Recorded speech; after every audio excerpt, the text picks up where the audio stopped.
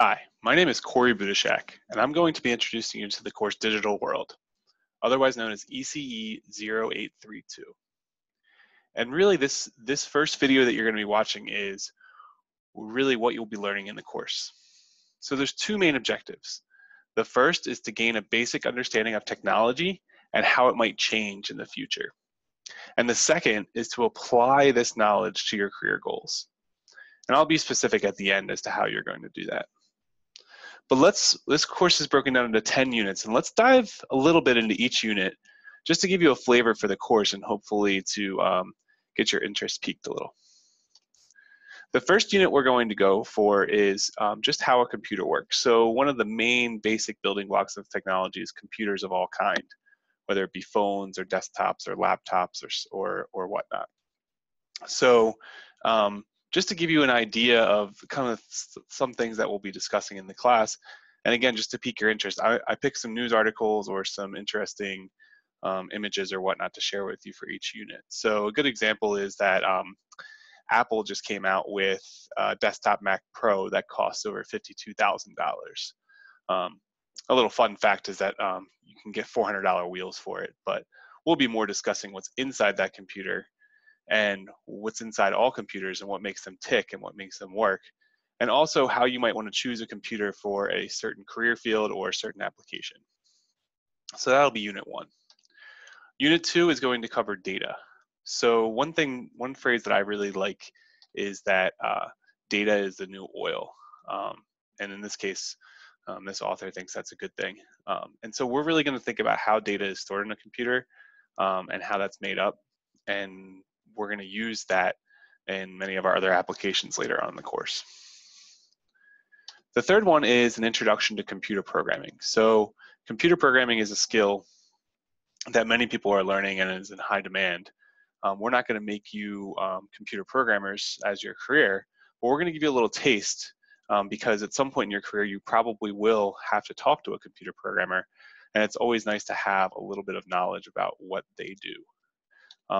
So again, just another little news article. Um, some people even think in the future coding might perhaps be a um, you know a basic literacy literacy skill like math or English. Um, I'm not so sure by that argument, but um, it's a sort of an interesting thing to think about. So the next unit, unit four, we'll be covering is communication, and that's we're going to be covering um, a lot of things in this unit, um, such as encryption and internet basics. And one thing that's really coming up is the transition from 4G, which you probably see on your phone, to 5G, um, which is a much faster way to communicate, and we'll talk about the implications of that. And then a lot of these things sort of come together um, to form something that's called um, Industry 4.0. So we're going to talk about Industry 4.0, but the basic idea is that it's a lot of these technologies coming together that we're going to talk about in this course to really bring together um, a fourth industrial revolution. So again, this is just an article about how that's going to affect business um, and accelerate business. Um, but we will talk a lot more about that in the class. We'll also look at, um, there's a lot of data being generated um, and, and we'll look at some of the ways we can visualize it.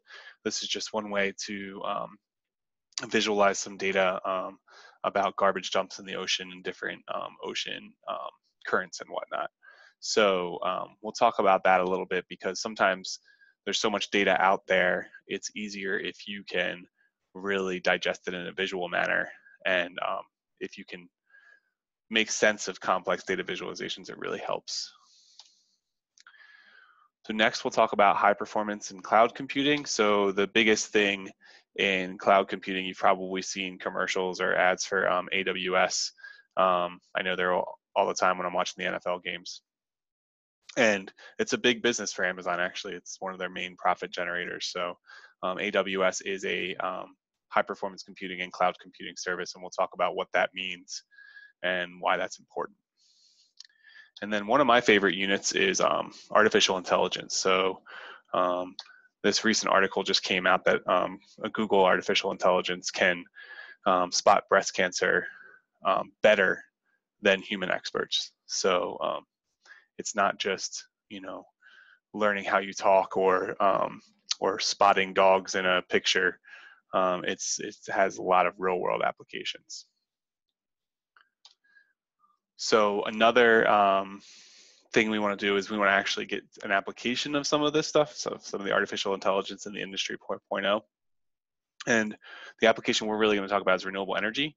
Um, it's near and dear to my heart. That's um, one of the things that I've I've been studying for years um, and think about in years. So we'll be looking at renewable energy, and not just renewable energy, but how all of this kind of stuff, all this automation, and all this faster communication with 5G and how artificial intelligence can affect the renewable energy industry. And here's just an example of uh, one of those things that might might be happening in that industry. And then unit 10, we'll be looking at um, ethics and policy considerations of artificial intelligence. Um, so we end the course with this because um, it's could have really broad implications about um, what will happen in the future. So just to give you some examples, um, there's lots of studies out there that say AI is biased. So we might think that if we have computers making decisions about resumes or um, other decisions in our daily life, that they would be unbiased. But unfortunately, um, either the data we're feeding into it, or um, you know whether we think about it or not, we might be building bias into these algorithms.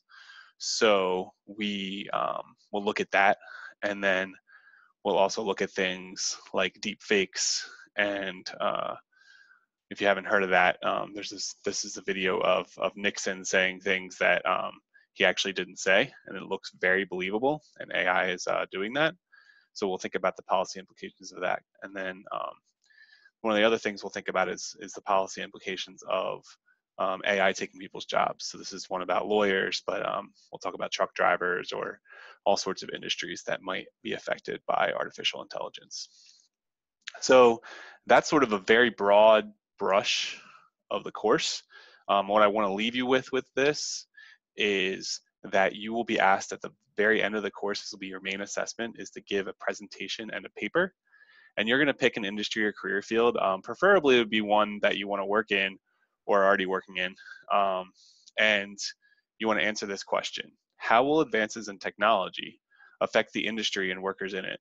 and how might policy need to shift to address this change? So I wanted to start with the course with that because I want you thinking as we go through the course how you will um, you might answer this question about and what industry you might be picking um, and you will uh, be giving a paper and a presentation on this. So start thinking about that now and um, i'm looking forward to um, to seeing many of those results at the end of the class